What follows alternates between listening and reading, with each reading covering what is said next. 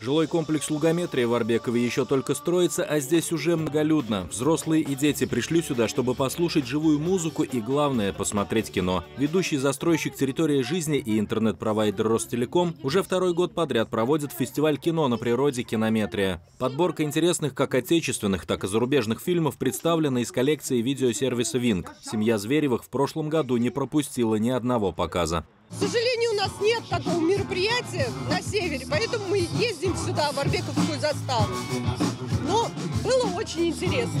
И помимо того, что мы получили удовольствие от просмотра фильма, мы еще и призы получили. Видеосервис Винк – это цифровая платформа мультимедийная, а, созданная разработчиками и командой Ростелекома. Это 100% российский продукт, который уверенно входит в число лидеров а, онлайн-кинотеатров страны.